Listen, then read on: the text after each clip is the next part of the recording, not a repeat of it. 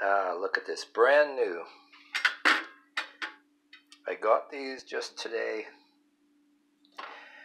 These are gonna go on the stove, replace the uh, messed up ones.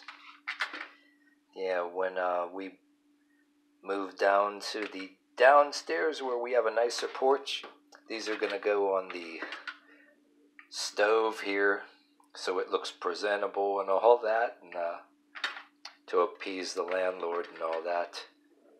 So uh, when we vacate this place and go to the uh, lower level downstairs with a nicer porch,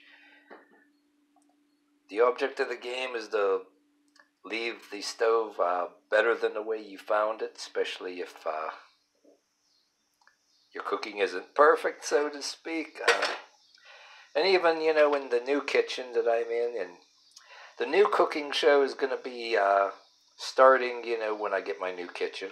And there's going to be a new set of these that I got for the new kitchen, too. Um, you know what you'd like to do with these?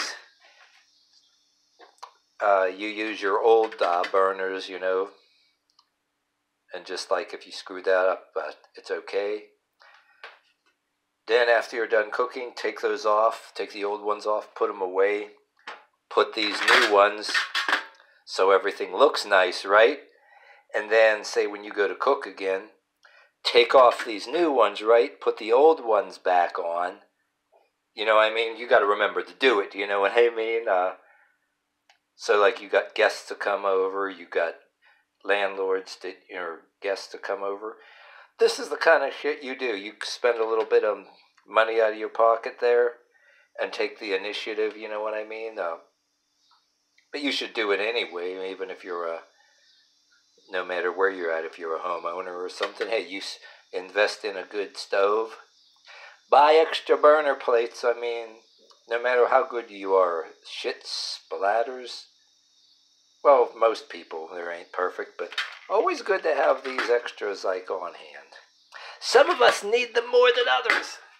Uh, but it's worth a few extra bucks, you know what I mean?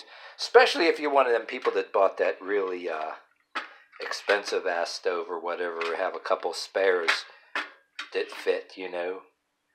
Always a good thing, you know what I mean? Uh,